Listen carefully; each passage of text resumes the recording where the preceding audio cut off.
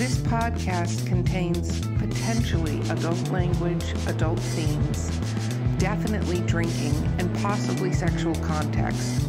Listener discretion is advised.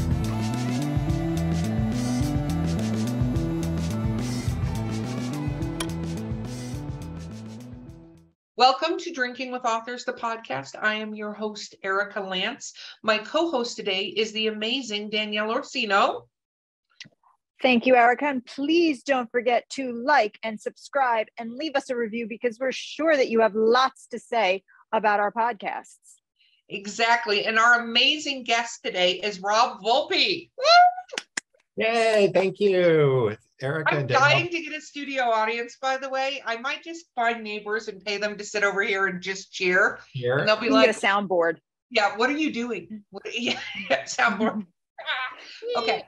Okay, let's talk about what we're drinking. So I am Oh, yeah. drinking some white Ooh. dragon 70% organic. This thing makes me laugh all the time. It's 70% organic Riesling. 70%. 70%. Ooh, Riesling. It literally You says just- 70% Riesling. You just elevated organic. Riesling. Like you just Oh, went yeah, up. no. Look, I'm in my dinosaur shirt. I'm super fancy today. Fancy today. Very fancy. Ooh. Dan- Danielle, what are what are we what are we doing today? in in my unicorn goblet, I'm, I'm getting more goblets, by the way. I'm going with barefoot Fruitscato watermelon. You see, I've dropped the apple and we're going watermelon today. Is So that very good? fancy. Because watermelon can be Mm-mm. This tastes like real watermelon. It's not oh Okay, like that artificially watermelon. It's like it's got that little tart of watermelon. So no, we're good. So it's it's like wine with watermelon essence in it. Basically, it's a wine cooler, but shh, we're Wow. we put it in a. But since they put it in a bottle, we're calling it wine, but it's really like a wine cooler. But okay, yeah, sure, bare, barefoot, yeah, it's wine. Yeah. Yeah, today the kids call that white claw. yeah, exactly. Like we went from wine coolers that we all drank, like the Seagram's little ones and Zima, to Right. Wine with yeah Oh. with fruit essence. Okay. so I I- had to explain what Zima and Bartles and mm-hmm. James was to my now I say my you. kids, my kids are now 23 and 26, but I had to explain this to them and they kept going, What? And I'm like, it's like a Pepsi brand, but it was an alcohol. It's like White Claw. That's what I'm saying. Exactly. My And when in daughter's doubt, like- it's White Claw. It's Yeah, White Claw before White Claw. and she's like, it was seltzer, and I'm like, I'm not doing this with you. It's a prequel. walked away. I was like, I can't. It's a prequel. a white claw is a reboot of the Bartles and James um, and the Zima. Let's just Exactly. say And what it it's, is. although Zima always tasted like flat Sprite to me. I don't know why. I know it was bubbly. Oh, you have to do a blueberry schnapps with it. You do a shot Oh, of blueberry schnapps that, in it. And then, yeah. Oh, oh yeah, we did it up. We were I was like at that. that time. I was also a SoCo girl, so. Not Ooh, you proud were of those hardcore. days. Not proud of those days. Okay, Rob, what are you drinking that's not anything we just discussed? Well, I, I have two different drinks. Uh, so I have two. I, I'm double fisting, I guess, today. So Nice. High five Uh, to that. hey, yeah, hey, really. uh, He's in. and so, okay, this first uh, lovely beverage is an empathetically intense rye smash. So it has rye and ginger liqueur in it, uh, a little bit of lemon and maple syrup. Um, so that's lovely. And then this is an empathetically intense uh, mezcal margarita. Very I'm nice. really so jealous right now and feel like my Yeah, 70% really. organic Riesling is not living up to any of the requirements here today. I don't know. That's that's that's pretty good. You and Riesling, though, I'd say that's that's elevated. You know what? I would like a lot less. No, that's true. Never mind. I was going to say less judgment, but we all know where we're at on that. Okay. Yeah, I was gonna say. mm. For this amazing audience who hopefully just took what you said, paused the podcast, and made it, because that's amazing. And I'm going to have to do this myself. What do you write? What do I write? I wrote a book about empathy, speaking of judgment. Um, and so Beautiful segue. my first book just came out. Uh, it's called Tell Me More About That Solving the Empathy Crisis One Conversation at a Time. Uh, so I write nonfiction. I write about people's stories. I write about my experiences and help um, using narrative storytelling. I try to help people learn about empathy and making different choices when they're about to be judgmental or they're going to ask a question the way that they frame up the question um, just to try to make the world a better place one conversation at a time Wow. that's beautiful. And that's just amazing. I had I was very fortunate I got to meet you at ALA, which is the American Libraries Association conference for those paying attention. And since it's early enough before we drink too much, people might remember that. Um, but is this the first book you've ever published? it is it is actually my very first i'm uh, i'm no longer a virgin publisher No longer a virgin. We appreciate that. We appreciate that. Cheers to that. Um, Drinks. I was going to say, let's drink to that. So when did you start writing though? Because for you to have a nonfiction book, you this is not the beginning of this story. So let's go Scooby doo back to the beginning. All the way back to the beginning of this book or just all the way back to the beginning All the way back. We're All going the way back. and we'll come forward. Okay, okay. So there was a there was a writing. I mean, writing's always been uh, something I've just gravitated towards as a, a form of communication. And I remember, um, I think I was in third grade. Um, there was a writing contest that where our school was participating in, and I wrote um, a story. I don't think I would have called it a children's story, but now, for as an adult, I would look at it and go, "That's a children's story." But it was called uh, a mouse's eye view of life in the White House. I was In third inspired. grade, you wrote this? Yeah, yeah, it was That's of the impressive, man. Thank you. Wow. Thank you. Um, and it was this story about these two mice that live in the White House. Um, I think it was during the Carter administration, so it was in the late 70s. And, and I think I was inspired because Amy Carter, uh, the president's daughter, was relatively young when she was there. So it was this idea of there's a kid living in the White House. And then I think through the Disney animated movies of the time, The Rescuers and things like that, there were um, mice as characters and, and action heroes. And so I was like, ooh, that would be kind of cool. What would it be like to be mice in the White House? Um, and I wrote that um, and submitted it. I remember drawing the cover art for it. In, I'm not, I'm a writer, not an artist of, of Mhm. illustration. Um, and it got an honorable mention. I mean, I got a, you know, a, some sort of participatory recognition from it. But that was the first thing that I've ever, I'd ever written that uh, I recall um, that got some sort of something recognized, recognized or got out there for other people to read. I think that's badass. That's badass. Oh, that's cool. grader. So let's travel forward in time. Yes. Um, did you, you know, writing always communicate, did you want to be a writer? Or where, where did the genesis of finally getting a published book come from? Let's go there. We're gonna just jump all over the time thing. We're gonna be like Q from Star Trek. Let's do this. exactly. Um, so the genesis for the book itself, um, so I, I launched um, my company, so like my day job. I have a, a marketing research firm, and we do qualitative research focus groups, ethnographies, things like that. And I launched my own company in 2011, and people started saying to me like, "Oh, you're a CEO now. When are you going to write your book?" And I was like, "With what time? I'm an entrepreneur. I'm starting something up." Um, and so I I kind of shelved it. That was 2011. I didn't do anything with it um, at that point. In like 20 what was that 2014? I think I started to ponder what a book might look like. Um, didn't go very far. I was going to write something about intuition um, because intuition is something that we all have, but we also all ignore and we'll you know do stupid things even though our gut is telling us to do something else. And i started to research it. I like talked to a neuropsychiatrist and a couple of, of an energy healer and intuitive um, but i wasn't finding myself like consumed by it. Like it wasn't taking over my mind where i was wanting to write nights weekends on top of you know running the company and then in 2016, I was pr- giving a talk to a, a market, a consumer behavior class, a marketing course um, at a university. And I, you know, give the overview. This is our industry. This is what we do, and then I talk about empathy because there is an empathy crisis, and as I want to bring that notion forward to the students so that they're, you know, starting off on the right foot and hopefully um, you know, choosing to, to do better than, than others that have come before them.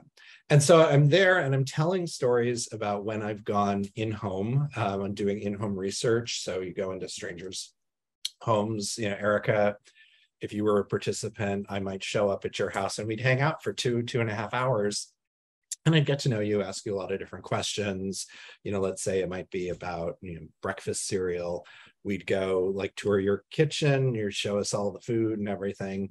And eh, um, a lot of, not a lot of times, but at times I would get confronted and challenged by my own judgment, or I wouldn't be, you know, active and present and listening. Um, and so I was using those stories to help the students understand how to be more empathetic. And they were listening to me like slack jawed, just totally, their phones were to the side, they were paying attention to me. And this little voice inside my head said, This is what you need to write. These are the stories you need to tell. And so that was like, okay, I started writing down the stories, the, the, you know, it was all of my, um, uh, research experiences that I would pull out at cocktail parties or dinner conversation, like you wouldn't believe what happened to me, um, type things. And then I started to explore, well, why are those mine? Like, what what what is it about me? What does it say about me? And trying to have empathy and connect with these individuals. Where were the barriers for me, and, and where was that coming up?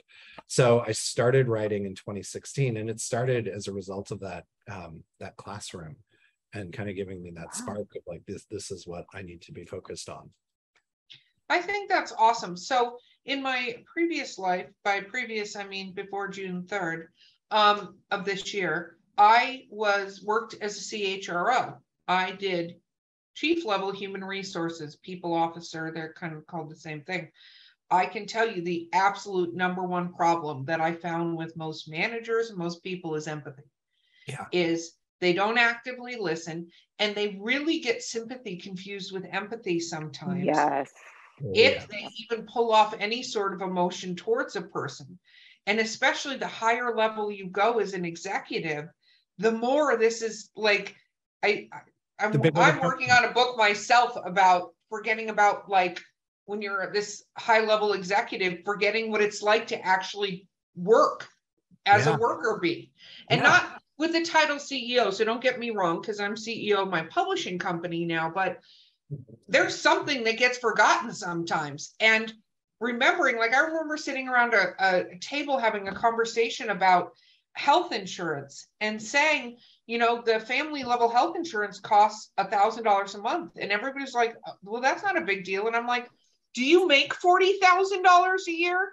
Because if you all want to whip out your phones deal. right now, let's do some math. Can we yeah. do this together? And they were like, oh. And I was like, yeah. Why am I explaining this to anyone? Like that's how it's No, it's it's it's true.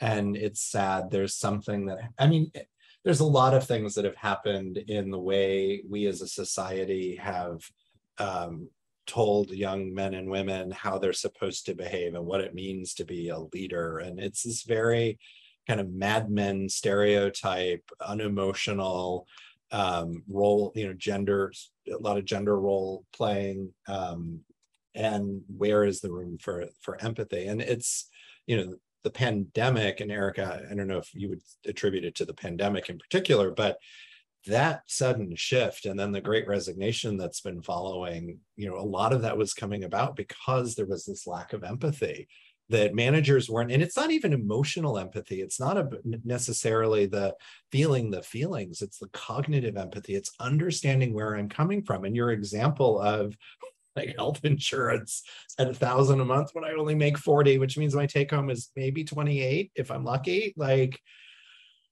and then you've just taken half of that. And, and not being able to just understand and put yourself into their shoes and see what it might be like from them that's cognitive empathy that's perspective taking.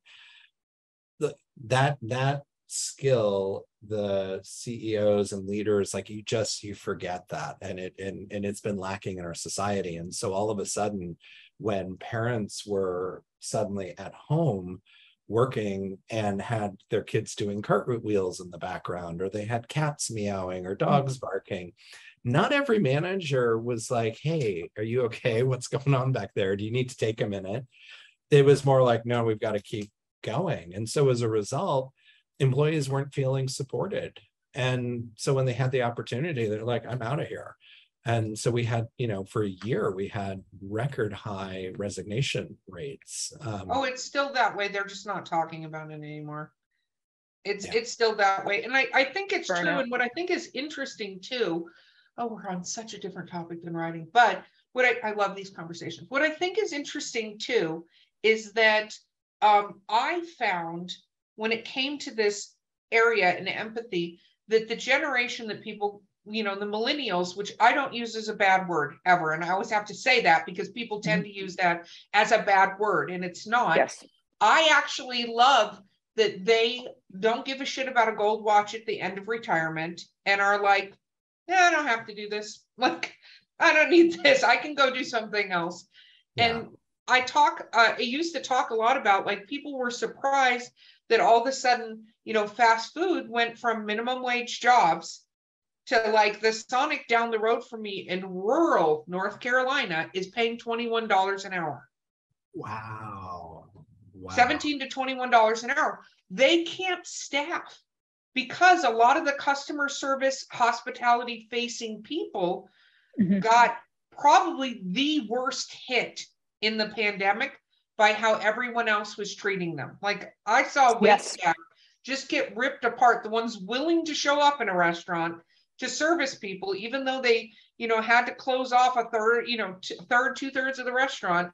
They're there and people are being shitty. Like, I'm like, you don't understand. These are the people that have now gone home, stopped paying for childcare, doing whatever, and figured out, hey, I can take a customer service job and make money sitting at home and be with my family, and I don't have to put up with your crap.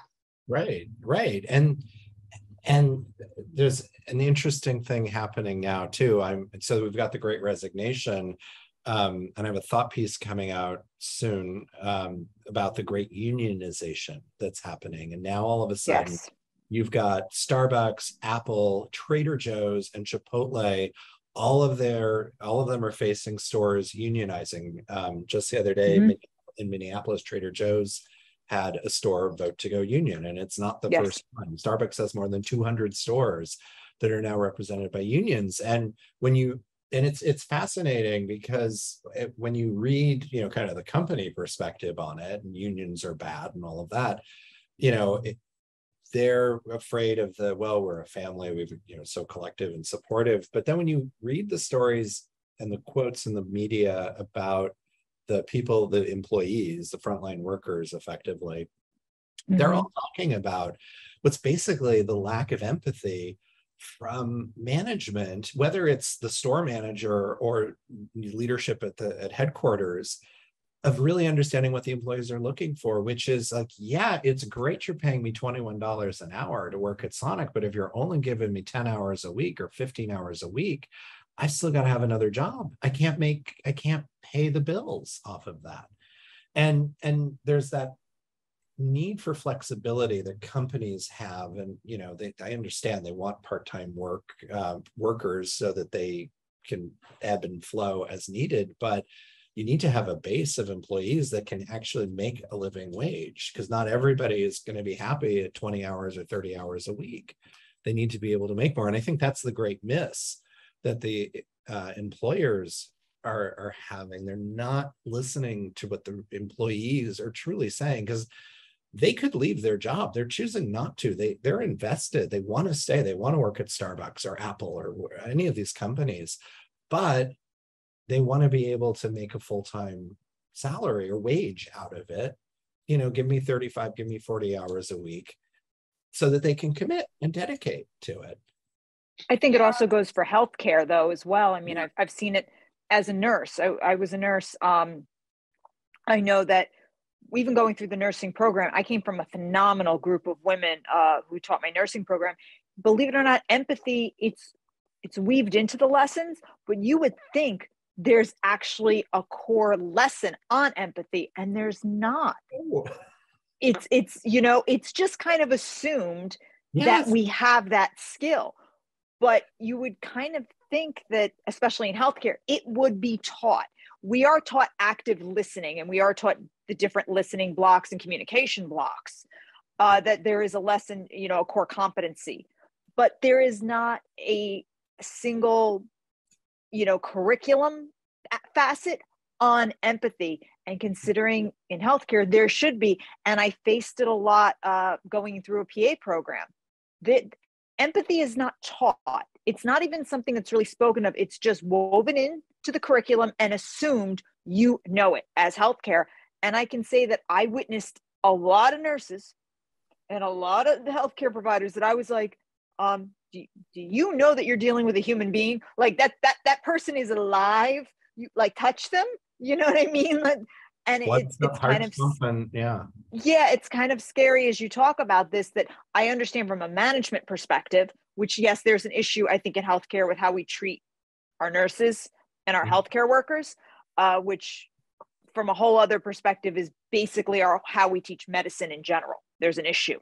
Um, but just how we teach how to interact with human beings yeah. is a problem, especially from the healthcare perspective. And part of it is, is you know, then we get into the whole insurance and all that stuff.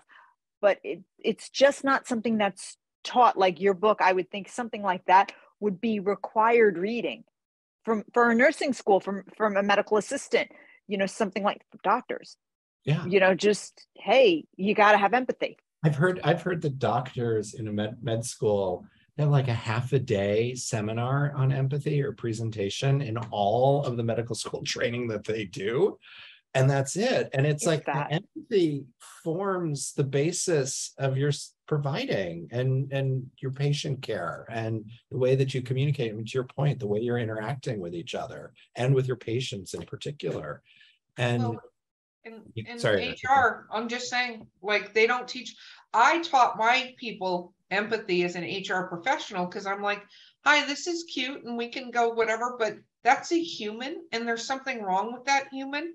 So why don't you go find out what's wrong with that human, regardless of what they did, and then mm-hmm. let's see what we can do because you know, especially an employee, I think a lot of people, oh, I'm getting such a tangent here, but we're going to go back to writing. Um, I think a lot of people don't realize an employee can be with you longer than some of your relationships in life longer yes. than some of your marriages. So life is going to happen to that employee throughout their time period. No matter how great of an employee they are, they're going to go through relationship issues, kid mm-hmm. things, mm-hmm. possibly family death. things, pet things, death. So they are not going to be smiles and sunshines the entire time they're working for you. And if you have no empathy, you're screwed. Like, and that's why HR seems to be such an asshole area and i hate that because you you almost go i'm protecting myself from the employees and i'm like yeah they're the reason you're here so maybe hmm. get your ass outside your office and go talk to them maybe yeah. we try that as a concept yeah oh absolutely i gave a talk this morning to an organization about i give presentations and lectures and whatnot and I was giving one this morning about empathy and go through, I demystify it because there's a lot of confusion around it, what it is and what it means, and then get into the five steps, which is what the book um, brings to life. And then I talk about practicing empathy, especially in such a diverse environment that we live in. And, you know, 30, 40 minute conversation, there was a good 25 minutes of questions and conversation amongst the 30 or so attendees. It was really um, uh, impressive how much they held on to it and then you know took that and, and started talking because they want to show up more empathetically for each other. And you know it, and it's revealing sort of, sort of blind spots that we have when we're making assumptions about other people. And it's like not everyone feels the way that you do. So you know or has the same belief system. And you need to be sensitive to that and empathy can help you do that. Do you think social media has done that has in a way numbed our sense of empathy? Or do you think that it has perhaps increased our quick to judgment, our snap judgment status? So, great question. Um, yes, and so, yes, empathy has been diminished by a lot of different things. Social media is definitely one of them. But even before that, just technology, all the screens that are available, the relationships we have with those screens, you know, you're even back, you know, when we were younger and you were tethered to your video game, to the, the console, to the TV, you might have your buddy over and you'd be sitting side by side on the sofa playing a video game, but your interaction was actually with the screen. It wasn't truly with your, your friend. You weren't mm-hmm. having empathy building experience the way you might if you were running around in the backyard role playing Wonder Woman or you know cops and robbers or whatever. You knew I was doing that. I, I was. He does cosplay Wonder Woman. That's hysterical. I don't know how you picked up on that, but Rob, well done. Well done. Yay. um, so yeah, so social media, technology, um, globalization, quite honestly, like I, I think to a certain extent, we're I don't I think we're challenged to have empathy because we're exposed to so many more people in so many different ways and people that are other versus, you know, if you think of that stereotypical 50s, 60s white picket fence, your little neighborhood, your your kind of world was mm-hmm. a lot smaller. And that's changed. Um, the polarization in politics has definitely not helped. There's a lot of, and that's been going on since the 90s, where it's this real mm-hmm you know zero sum game us versus them winners losers. I'm going to block all of your legislature because you're going to be a one term whatever. And so that hasn't helped. Um, and then even the media and um, reality tv which again it's all about competing against each other. There's one winner and you're you're doing whatever you can to be better than somebody else. So that it, it so all of those things are happening and we are not making the conscious choice to do differently. We're just getting sucked into the slipstream and getting onto Twitter and like, you know, bashing along with everybody else. And, and you do have to stop and say, wait, how do I want to show up? How do I want to participate um, in this conversation or in this engagement with somebody? And and it takes work. And it's sometimes path of least resistance is just to, you know, glom on, I, I think. Um, but there's so, so Danielle, it's a great question. Yes, social media um, has made it easier for us to jump in. The anonymity in a lot of social media makes it really, there's no repercussions um, with some of the, the different platforms and all those other factors. It's all kind of created the stew of um, empathy decline, and it's been going on for decades. Um, there's the the kind of I told you the inspiration for writing my book, the thing that got me really going about empathy, not only from my own childhood, which I write about in the book and some of my experiences growing up in small town Indiana, but um, as an adult in 2010, I saw a story about a study that came out of the University of Michigan. And that found they did a meta analysis of 76 universities from 1979 through 2009. And they found from 2000 from 1979 to 2001 a 40% decline in people's ability to see the point of view of their classmates. 40% decline from 79 to 2001 and then it stayed at that reduced level the last eight years of the study. And then data that from ignite 360 my company we did a study at the beginning of the year and we found that nearly one third, we asked that exact same question can you easily see the point of view of other people? And nearly one third of American adults could not agree with that statement. And it's like, yeah, exactly. It's like, oh my God. One third of the people you're going to run into today cannot easily see your point of view. They can't get to a place of empathy. And that's a problem. And that was a real alarm for me in 2010 when I first heard about the uh, collegiate study it was like, we've got to do something about this because those people are now in the workplace and they're, you know, having kids and families and they're participating in their communities and they don't have as much empathy. And, you know, you just see it continue to get worse and worse as, as time goes on. Well, and this is wow. an awkward point to take a break, but we're going to do that anyway. be awkward, and we'll be right back with Drinking with Authors. Sample locally sourced, quality distilled spirits in the beautiful Columbia River Gorge. At Skunk Brothers Distillery, we're family owned, brewing small batch grain to bottle spirits, just like our grandfather did back in the Prohibition era. From handcrafted bourbons and moonshine to flavored blends and cordials infused with local fruit. Join us for a tasting tour and buy Skunk Brothers spirits straight from the source. It's all in the family at Skunk Brothers Spirits, located in Stevenson, Washington. Okay, we're back, and I feel like we could talk for literally hours on this topic, and no, we can. Let's talk a little bit more about your writing, though, because we are Okay. drinking with various authors, you know, on this podcast. Um, so nonfiction, you wrote a fiction story about mice all the way back in third grade. And now fast forward, you wrote a nonfiction book, but you have a marketing company, which is amazing. By the way, I've heard of your marketing company in my previous world. Yes, I've heard of Ignite 360. Absolutely. Okay. Wow. Good things, good things. When you Nice. said that, I was like, oh my God, I've heard of his company. It's amazing. Um, but what what was your publishing journey like to get this book out? Because that's got to be an interesting tale. Yeah. So um, I, I started writing in 2016, and I was I around that same time um, I got introduced to. Uh, long story, but I got introduced to a woman from South Africa who had worked in publishing over in the UK, and she laid out for me like, here's the wonderful world of publishing as it exists today, and you've got the traditional publishing route, Simon and Schuster's, Penguin, et cetera. You've got the self-publishing on Amazon, whatever, and sell it out of the back of your car. And then you've got this hybrid world that's evolving and developing. And she, I, I was really intrigued by this idea of hybrid because I wasn't sure if a mainstream publisher would pick up the book necessarily. I wasn't, the one thing she said to me that's resonated and I continue to pass on to other authors is that you know, hey, if they get the latest sort of White House tell all, they're gonna fo- they need to focus on the big bestseller list that they've got coming up. So mm-hmm. don't, you know, you may you they may love your book, but if they've got a million copy bestseller on their hands, they're going to put all their energy behind that because it's their business and what they have to do. And I I totally understood that, but I was like, well, crap, I'm not.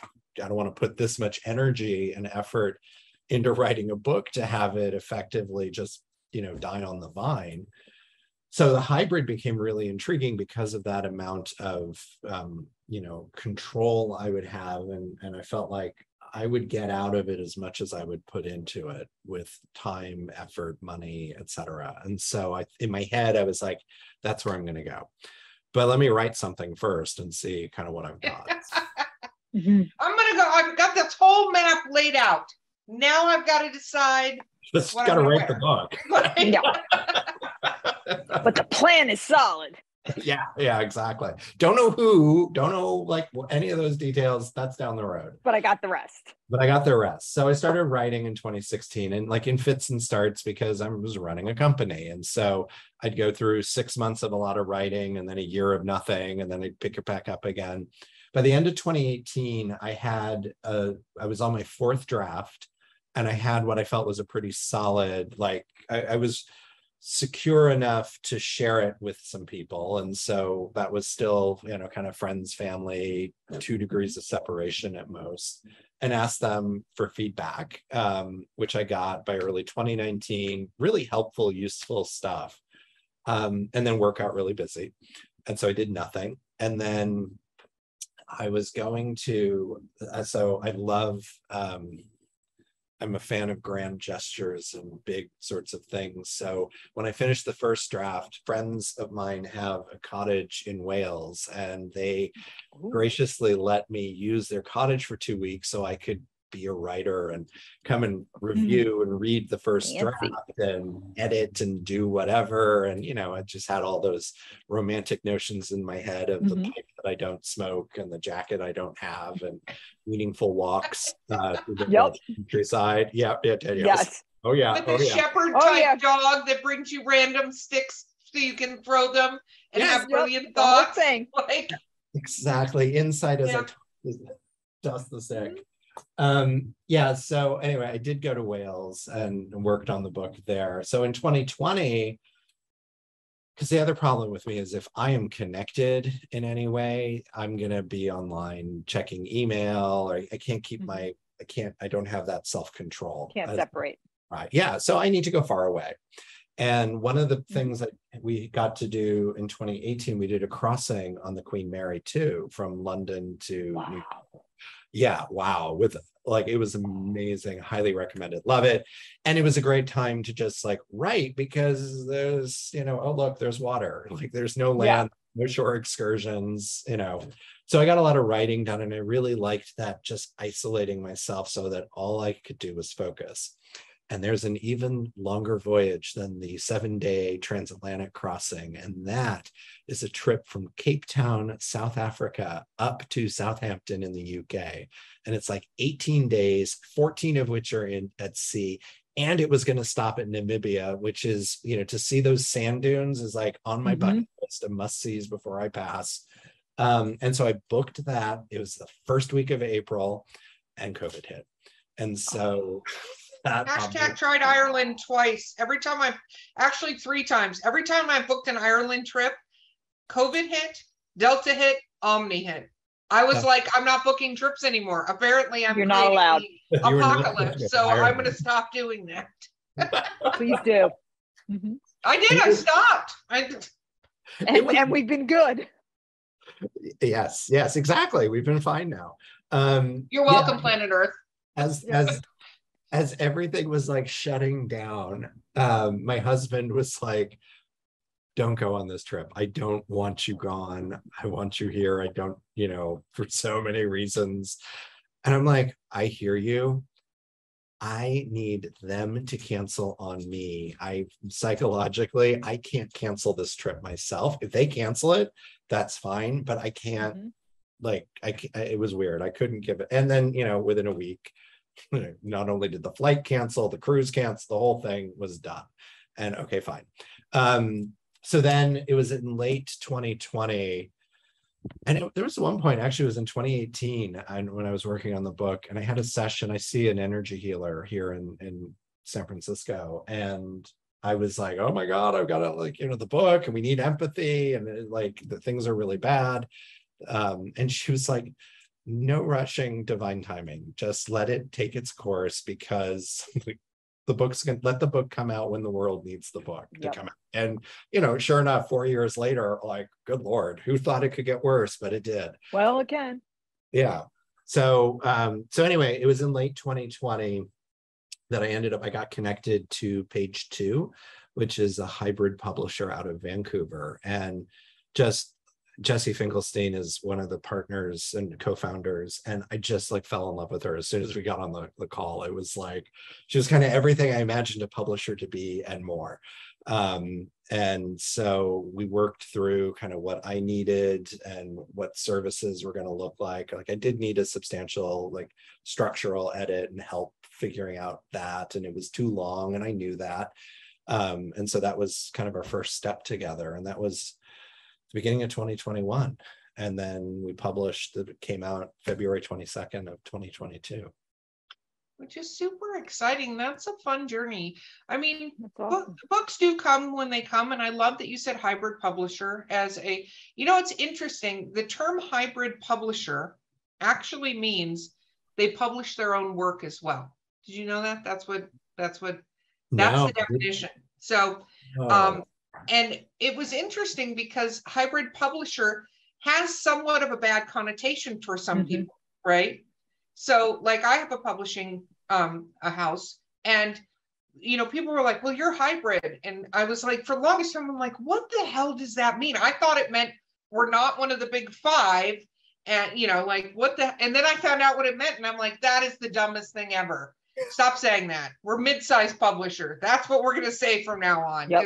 This is the dumbest thing I've ever heard. But I love that you had a great story from that because I personally believe, and the reason I started the publishing company is all of us hybrid mid-size publishers need to knock the top five off of their seats because they're doing it wrong. Amen. To your point, searching out a book, and it's great that you get bestsellers. Trust me, as a publisher, we all want bestsellers, right? Mhm. But actually, what I want is I want my authors to be successful yeah all of them because there's so many people to read books and so much it's not like you get yeah i mean i'm sure there's some people that maybe read a book a year but a lot of readers are vor- voracious like they gobble up books Yeah. And so it's not like you're gonna like oust somebody from the thing if you go, no, we're gonna stick with these five, you know? It, There's not that- one iron throne. There's Yeah. room for all of us. Yeah, absolutely. And and there's so many, so many readers and so many different needs that readers have and things, interests and things that they want to to learn about or explore or experience. Um, and I think the there are two two things that have helped me uh, appreciate the enormity of that. And one of them was an article in the New York Times about the industry, and it mentioned that only 1% of books sell more than 5,000 copies a year in retail through the traditional retail channels. I was like, 1%. Oh my God, that's like tiny. And that, that number of 5,000 doesn't feel like, you know, Would you, Enormous. would you like to be even more mortified that um, only less than 10% of New York Times bestselling authors actually make money off their books? really. Part of the reason for that is unfortunately and this is another status quo thing that i'm hoping to dethrone here soon is in order to be on these lists they don't actually cu- accumulate book sales Yeah. because if they did i hate to say it there would be some top people that sell but there are some self-published authors and stuff like that and smaller that would be on the top of that list Yeah. because of the volume that they sell. It's just that it you in order to even get on USA Today, you have to have a nomination. Then you have to get a bunch of people to vote for you to be on that. And it's not based on how well you do as an author. It Yeah. is literally based on all these other things. And if they decide to do this and if they decide to like you, and I'm like, that's actually You not gotta how grease the metrics palms. work, publishing world. You know, if I- I've, I've heard- barbarians yeah, I heard that, and it's not just the, it's not just USA, it's all of the lists. all that of them because I was I I I had I mean I knew like the Bible I think is like the best selling book ever and will always be would always be at the top but like I I didn't real I thought they were legitimate like sales like the box office figures they're not. They're No, not. No, it's a it's a it's a frame of time. It's and a lot of times the publishing house will go in, buy the books in bulk, and then donate it to hospitals because they cannot donate to libraries. They'll donate it to hospitals, the things like that that you don't even know about. And then the author's like, "Hey, look, I just made you know New York Times," and you're like, "Okay, but you see the little dagger next to your name? That means it was purchased in bulk." Your sales. Oh, interesting. so there's little there's little things and it means a good pr firm or it means good this it's not always and i learned as erica will tell you i had my book bef- when i was with my first publishing company because i switched uh, the publishing house was told by someone that was a client that my book was too close to their book because that author who is quite well known um, was the only Fay publisher. So they harpooned me 30 days before and published the ending to my book on Goodreads. So when you went and looked at my Goodreads profile, the climactic ending to my book, the whole full synopsis to the end of my book was my profile. And I had a meltdown and a half and I was calling, but because they were, they controlled my profile, I could not take it down. So I Yeah. called the publicist and I was like, what's going And they were like, in 20 years, this has never happened. Oh my gosh, what happened, Danielle? We'll take it down immediately. Took them two weeks. But for one month before my book was launched, the uh-huh. ending to my book was my Goodreads profile. And, and then they, they swore they had no idea how it happened. They said the note cards for a talk show appearance got mixed up and sent to the people handling their social media. And they're so sorry. I later talked to someone in the industry, very high up, who told me it's a trick called harpooning. And that's what they do to newer authors that are about to pose a threat. right to an established um, And it- yeah, it- and What's so yeah. funny is my point that for her Faye books, right, which are amazing. Every author has a different voice. I don't care whether they're telling a similar story. I could go Mhm. write a story. Well, I have short stories about Faye, and they're way more graphically horrible because I'm a horror author than Danielle is, who is more fa- high fantasy. And my stories are not going to be the same. I can publish them at the Nope. same time I publish Danielle's. They're audience, it's different. But unfortunately, a lot of the publishing world has a very icky side to it. It's kind of like Yes. this year, even at ALA, I noticed a lot of the publisher had a lot of diverse books. I love that. But then I was like, what is happening? Like, are you, I hate that it's a response to what is happening and not like, because you go and you go, oh, this is great. Here are three children's books by Black authors about Black children, right? But then go look at the rest of their children's catalog. Right, right. And there's Mhm. three of 200 books that are, you Mm. know, And then what are the, how are they, are they doing anything to lift up the imprints or the publishers that are Mhm. already owned and have always been producing those books? And how are they, they helping in that space? Speaking Yeah. of Exactly. empathy, there we go. Right into the empathy exactly. See How we brought Full it back circle. around. Yeah, Yep, yeah. very nice. Good job. callback. Masterful, masterful. Thank you. Thank you very much. I appreciate it. Um, Um, Go ahead. What were you gonna say? Oh, yeah, the only other thing I was gonna say, so there, yeah, there was that one percent, five thousand or more.